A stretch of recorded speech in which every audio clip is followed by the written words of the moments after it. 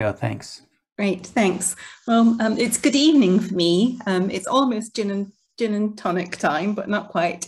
Um, so thank you for a great afternoon. It's really nice to be here. Um, I'm going to talk a little bit about knowledge transfer um, and the importance of no knowledge transfer um, in lots of different contexts. I've been involved with the NDM movement for a very long time, and I was probably one of the first people to actually partly complete a PhD um, in NDM. So if we're looking at the knowledge transfer examples that I've been in involved with, I'm really concerned about education. Um, and I've, for the past five or six years, been teaching MBA students some of the advantages of cognitive task analysis and the critical decision method, and also undergraduate students, um, introducing them to the world of naturalistic decision making um, and the importance of being able to elicit tacit knowledge and build that back into all kinds of systems, be they paper and pencil exercises or um, in a virtual world. Um, similarly, I've been involved with lots of people who are in this virtual room looking at military decision making in different contexts and looking at how we can accelerate expertise and how we can utilize um, knowledge that's domain specific and we can build that back into systems. Um, other areas that I've been involved with have been in the world of health um, and working in with the NHS in the UK and the World Health Organization, looking at everything from bed management decision making to looking at professionals who are involved um, in public health decision making um, during the pandemic, looking at multi-team systems. And one of the things that I'm really concerned about is the pragmatic knowledge that NDM can elicit and transfer for professionals. Um, so today I'm going to talk to you a little bit about um, a, an organisation that I've been involved with for a long time, looking at how one can improve surveillance decision making and what happened with the organisation NASDAQ in terms of thinking about how you could improve um, decision making processes of surveillance officers. So, as part of the advisory panel um, for NASDAQ's behavioural science group, I worked with Wendy Jephson. Oops, Apologies, there's a double, uh, I seem to have got, do you have double noise there? Nope, it sounds fine. Okay, um, sorry, in terms of thinking about the screenshot I'm just showing you there, um, that's an image of the type of things that surveillance officers are looking at when they're looking at the tricky domain of surveillance and trying to um, access knowledge which looks at um, problems when people are completing rogue trades. Now, rogue trades can be problematic for all kinds of different reasons.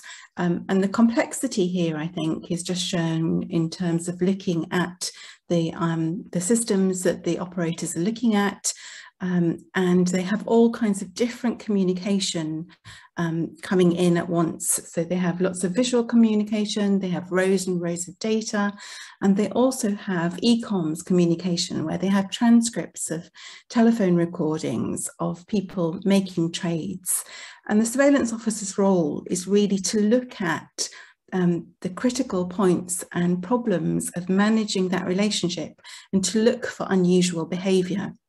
Um, and I was involved at the very early stages of this very large project um, with NASDAQ to help practitioners identify um, critical cues of experts in surveillance. And we managed, managed to identify lots of the critical cues that those surveillance officers who are really good at spotting rogue traders, what they did in this situation. And as a result of spotting those critical cues um, in tacit knowledge, they were documented and built back into the system to help training of new surveillance officers to improve their cognition and to look at situations that they previously wouldn't looked at, have looked at and were given cognitive cues and nudges to carry out more positive behaviour. Um, I think this is a really interesting um, area that NDM has been involved in. Um, and lots of the work that um, I get involved with looks at being able to bridge the practitioner um, kind of academic divide, taking the science to practice in order to improve decision thinking and decision behaviour.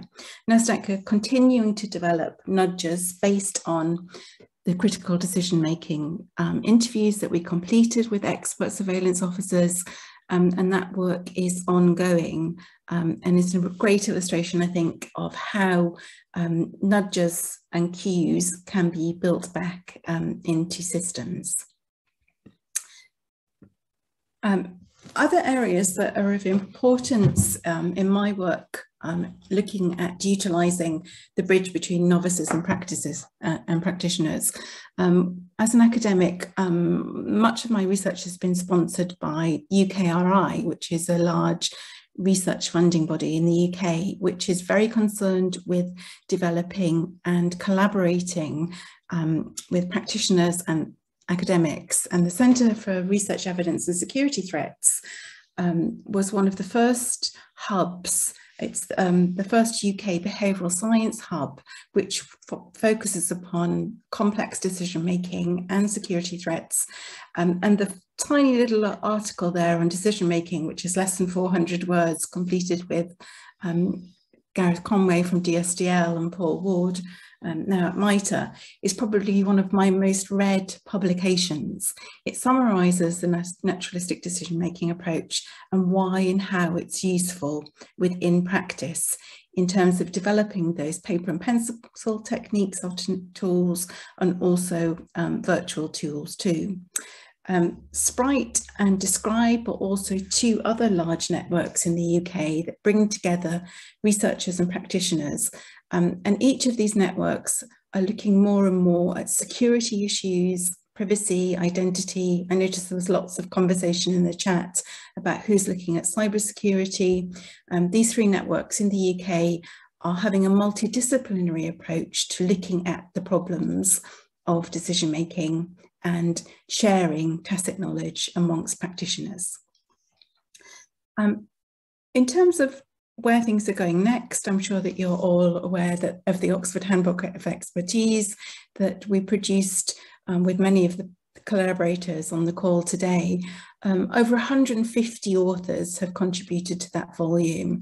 And I think at the heart of good science and good empirical inquiry uh, that the critical decision methods have afforded in terms of accessing people's tacit, tacit knowledge. I think it's a great insight um, and it's very exciting that each of those authors at the end of their chapters talk about the future of naturalistic decision making and how that can be applied within different domain contexts. Um, so if there's one question that I would like um, to share with everybody in terms of thinking about how can practice and academia come together. The question that, that the knowledge audit has, which is an applied cognitive task analysis, is why is this difficult?